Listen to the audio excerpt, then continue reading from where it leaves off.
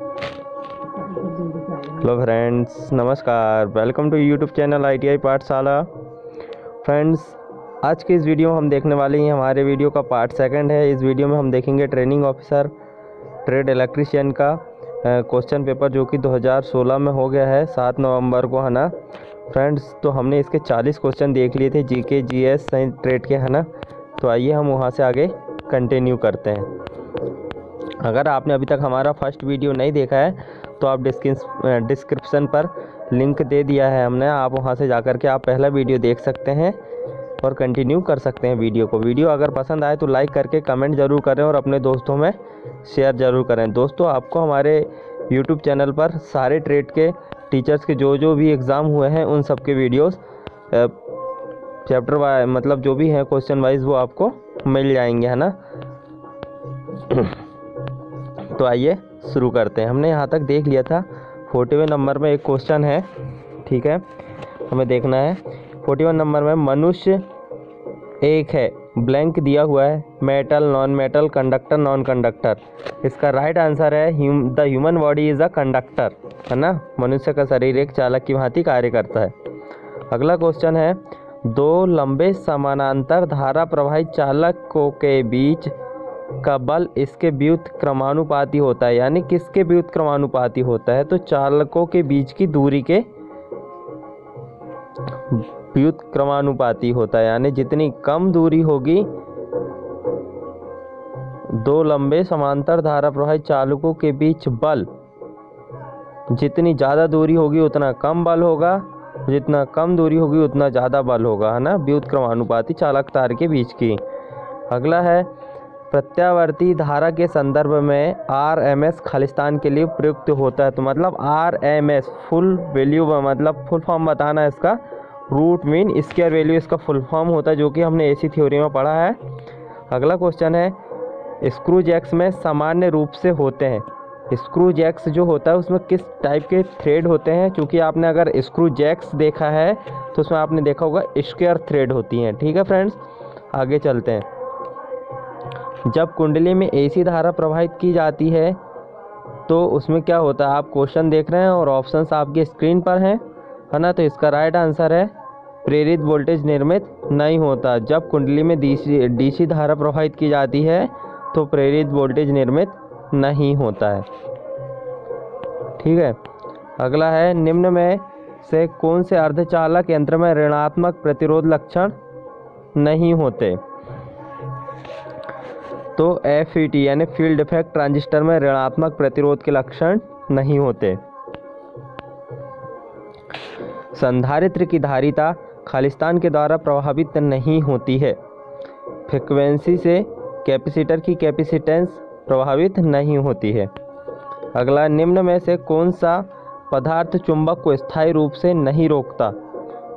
मतलब निम्न में से कौन सा पदार्थ चुंबकत्व को स्थायी रूप से नहीं रोकता है? तो वो है मृदु लोहा सॉफ्ट आयरन अगला प्रश्न है ज्या वक्री तरंग रूप का औसत मान होता है?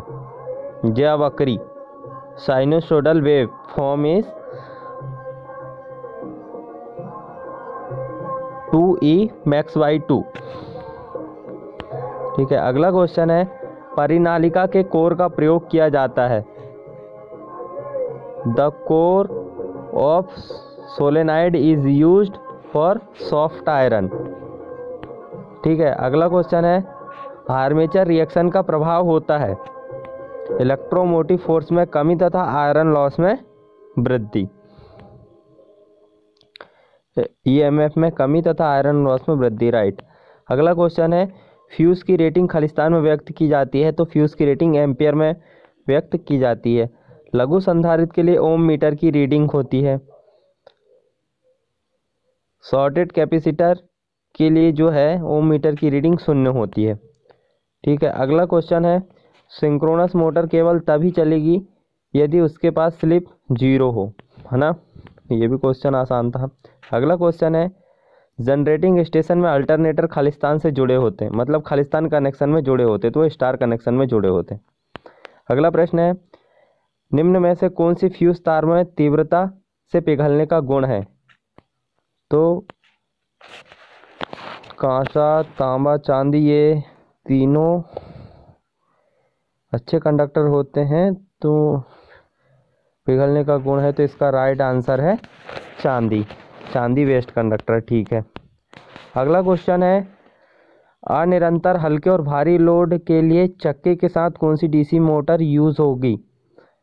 तो दोस्तों, अनिरंतर हल्के और कभी भारी, कभी हल्के लोड के लिए मतलब अचानक से लोड का ज़्यादा होना, अचानक से लोड का कम होना, इन सब के लिए हम डीसी मोटर यूज़ करते हैं तो वो है कम्युलेटिव कंपाउंडेड मोटर संचित्र रूप से संयुक्त मोटर, ठीक है?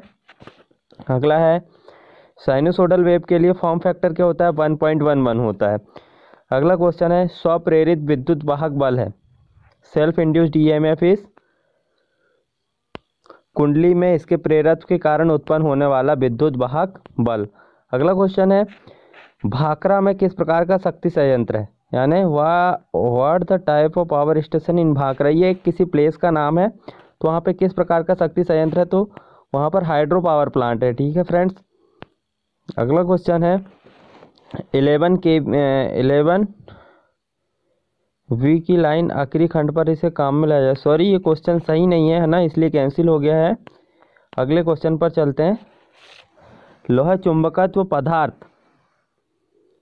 लोहा चुंबकत पदार्थ कैसे होते लोहा चुंबकत पदार्थ चुंबक द्वारा तेज़ी से आकर्षित होते हैं। ठीक है फ्रेंड्स अगला क्वेश्चन है।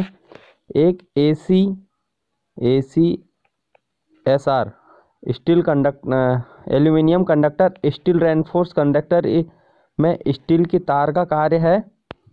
लाइन में यांत्रिक तनाव लाना। Take up to mechanical tension in the line अगला क्वेश्चन है, उत्सर्जक की संग्राही के बीच न्यून प्रतिरोध रीडिंग लगभग होती है। Low resistance reading between emitter and collector will be about दस हज़ार ओम या उससे अधिक। अगला है, ट्रांसफार्मर खालिस्तान के सिद्धांत पर कार्य करते हैं। तो ट्रांसफार्मर म्यूचुअल इंडक्टेंस के सिद्धांत पर काम करते हैं। ठीक है दोस्तों, ध्यान रखना, म्यूचुअल इंडक्टेंस, है ना?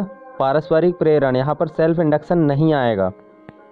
अगला क्वेश्चन है, जब दो वाट मीटर का प्रयोग थ्री फ़ेज़ संतुलित परपथ की शक्ति को मापने के लिए किया जाता है तो एक वाट मीटर की रीडिंग ऋणात्मक होती है। इसका मतलब लैगिंग कोण कितना होता है?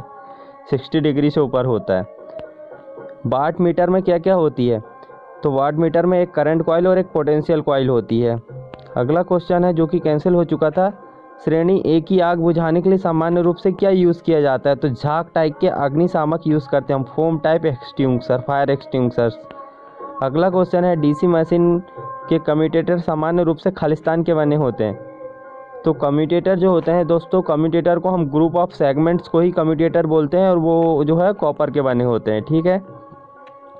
प्रदीप्ति नालिका में जब डीसी पूर्ति द्वारा काम में लिया जाए तो चाप को स्थिर करने के लिए उसमें निम्न हो, शामिल होंगे। क्या क्या शामिल होंगे? रजिस्टर शामिल DC प्रदीप्ति fluorescent tube when work from DC supply will content भी following the stabilise the arc प्रदीप्त नालिका को जब डीसी पूर्ति द्वारा काम में लिया जाएगा तो चाप को स्थिर करने के लिए उसमें निम्न शामिल होंगे। रजिस्टर प्रतिरोधक शामिल होंगे। बोल्ट मीटर की सोग्राहिता इसके द्वारा दी जाती है। वोल्ट मीटर की सुग्राहिता पूर्ण पैमाने की विक्षेपी धारा के व्युत्क्रम reciprocal of full scale deflection current पूर्ण पैमाने की विक्षेपी धारा के व्युत्क्रम और दूसरा है ओम बोल्ट दोनों के द्वारा। ठीक है। अगला क्वेश्चन है इलेक्ट्रिकल मशीन की कोर में एडी करंट के के निम्न के द्वारा न्यूनीकृत किए जाते हैं। मतलब eddy current in the core of an electrical machine are reduced by किसके द्वारा? तो सिलिकॉन स्टील के मटेरियल का वार्निश लेमिनेशन के उपयोग के द्वारा हम इसको एडी करंट को कम कर सकते हैं।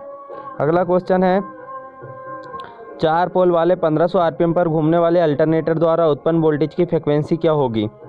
तो 50 हर्ट्स होगी दोस्तों, है ना? 1504 इसका कौन ये आप आसानी से कर सकते बहुत आसान क्वेश्चन अगला क्वेश्चन है, निलंबित विद्युत रोधियों की तरह प्रयोग में लाए गए डिस्क टाइप रोधी में होते हैं।